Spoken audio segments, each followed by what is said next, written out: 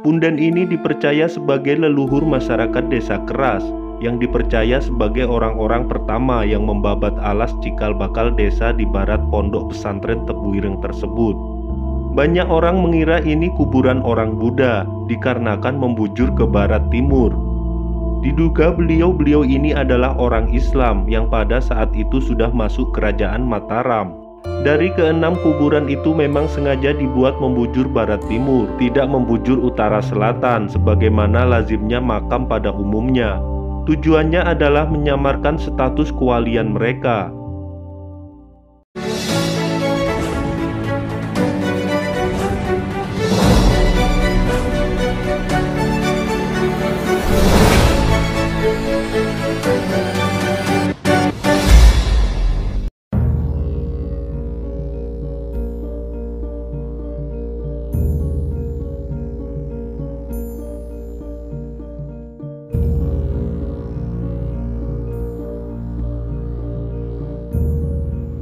tersebutlah seorang pengelana sakti bernama Ki Tong.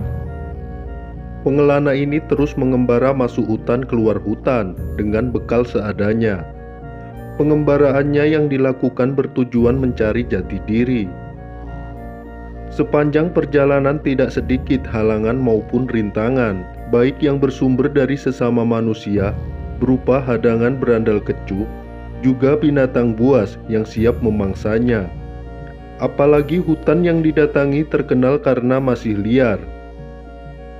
Dalam bahasa Jawa diibaratkan jalmo moro jalmo mati, sato moro sato mati, yang artinya kalau tidak siap secara lahir maupun batin untuk memasuki hutan itu, maka dapat dipastikan orang yang bersangkutan akan menemui ajalnya.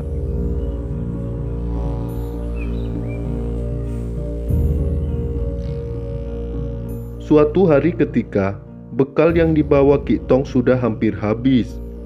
Ki Tong beristirahat di bawah sebuah pohon rindang. Kicauan burung dan terpaan angin yang semilir mengantarkan penat Ki Tong dalam ambang kesadaran antara tidur dan terjaga.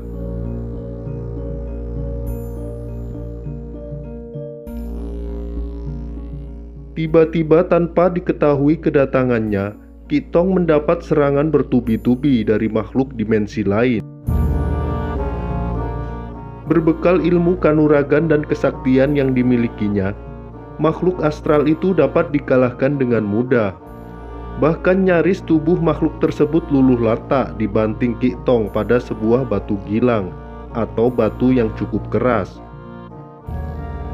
Makhluk itu pun memohon ampun sambil bersujud di kaki Kitong Ampunkan hamba Raden, ampunkan hamba, hamba mengaku kalah, apalagi yang Raden inginkan akan aku penuhi asalkan saya dilepaskan. Begitulah ucap makhluk astral tersebut. Mendengar rintihan makhluk tersebut, muncullah rasa iba di hati Kitong. Tetapi ia tetap waspada menghadapi segala kemungkinan, apalagi yang dihadapi adalah makhluk yang tidak kasat mata, Baiklah, kalau itu maumu. Tapi kamu harus berjanji untuk tidak akan mengganggu semua anak keturunanku dan warga desa ini. Apakah kamu sanggup? Sanggup Raden, ampunilah hamba, tolong lepaskan hamba. Makhluk itu terus menghibah.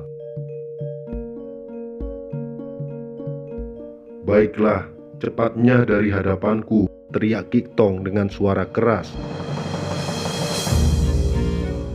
Sejak kejadian itu, tempat batu gilang yang sangat keras tersebut dinamakan Desa Keras. Dari kisah itulah dapat kita jumpai jejak tokoh tersebut yang berada di Desa Keras, Kecamatan Diwe, Kabupaten Jombang, Jawa Timur. Sebuah makam yang tergolong nyeleneh. Hal itu dikarenakan arah hadap makam yang tidak membujur ke utara selatan seperti lazimnya makam pada umumnya. Enam makam di areal ini dikenal dengan nama Sentono Agung atau Ki Tong. Dikarenakan tak lazim itulah banyak orang kemudian menyangka bahwa makam tersebut adalah makam orang beragama Buddha.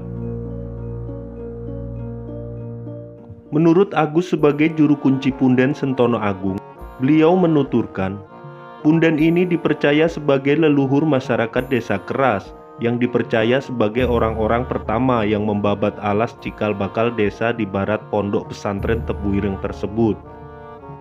Banyak orang mengira ini kuburan orang Buddha dikarenakan membujur ke barat timur. Masih menurut Agus, diduga beliau-beliau ini adalah orang Islam yang pada saat itu sudah masuk kerajaan Mataram Beliau-beliau ini dipercaya sebagai leluhur desa keras, bisa dibilang yang membabat alas desa keras.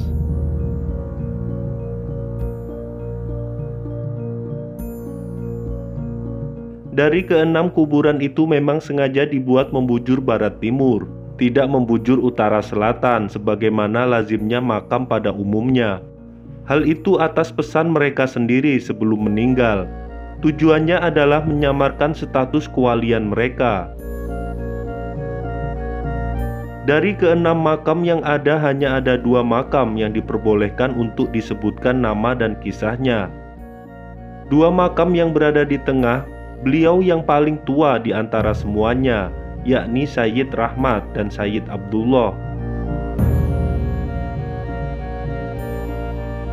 Seiring dengan berjalannya waktu, banyak orang kemudian mengeramatkan punden Sentono Agung. Hal itu menurutnya wajar karena selain pemakaman itu tak lazim, juga dipercaya memiliki aura magis. Namun sayangnya, tak sedikit juga orang yang menjadikan area makam ini untuk bertujuan tidak baik. Namun jika niatnya tidak baik, peziarah biasanya tidak akan betah. Di pemakaman ini juga sering terjadi kejadian yang ganjil, namun semuanya kembali pada niat peziarah ketika berkunjung ke area pemakaman Sentono Agung.